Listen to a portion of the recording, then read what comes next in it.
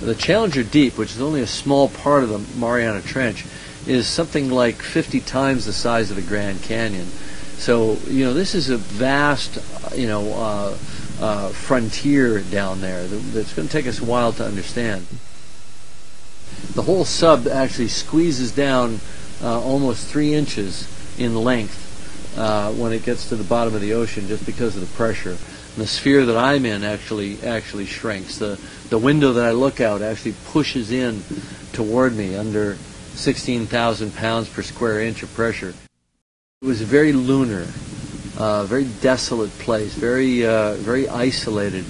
Uh, my my feeling was one of complete isolation from all of humanity. I mean, I felt like I literally in the space of one day have gone to another planet and come back. Any of the animals that live there are adapted to this extreme pressure, this total darkness. They're usually white. They have no pigment. Some of them have eyes to see uh, bioluminescence. Some of them have no eyes at all. Uh, it's com- it's a completely alien world.